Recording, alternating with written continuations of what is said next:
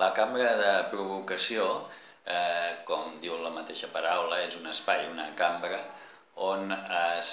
simulen eh, les accions que fa un treballador amb la seva empresa eh, per valorar què és el que està passant des del punt de vista respiratori. Aquesta cambra habitualment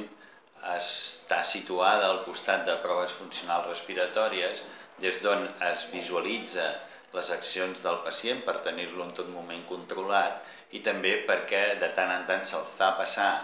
des de la cambra a les proves de funció respiratòria per valorar objectivament eh, les seves capacitats respiratòries, diguem-ho d'aquesta manera.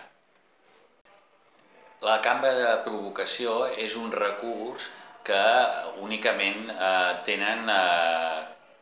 3-4 hospitals més en tot l'estat espanyol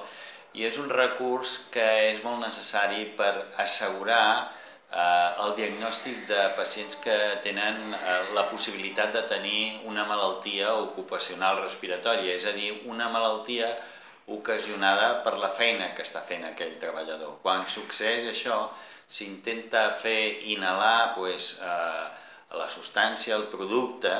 al pacient d'una manera controlada per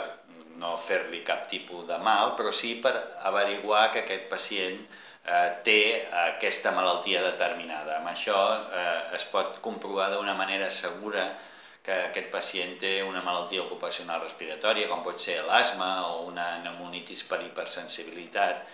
i això mm, en ocasions només es pot fer d'aquesta manera. Per tant, és, una, és un recurs que dona